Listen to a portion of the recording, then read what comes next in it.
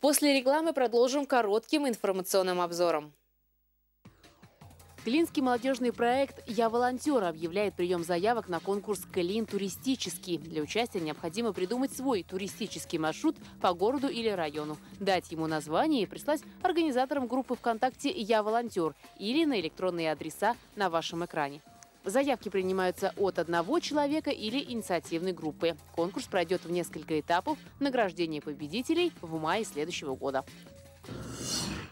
В понедельник, 28 сентября, в МДЦ «Стекольный» ждут номинантов премии «Наше Подмосковье». С 10 до 18.00 пройдет защита проектов перед экспертной комиссией, в состав которой войдут представители областного правительства.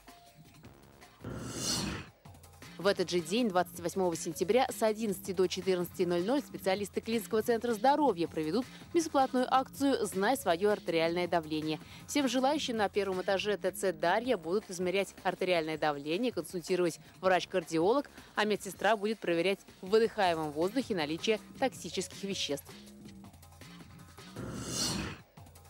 Завтра выпускники, неудачно написавшие ЕГЭ, смогут пересдать экзамен. В осеннем ЕГЭ участвуют выпускники, которые весной и летом получили НЕОТ по одной из обязательных дисциплин, либо завалили и русский, и математику одновременно. Всего по России это 32 тысячи человек.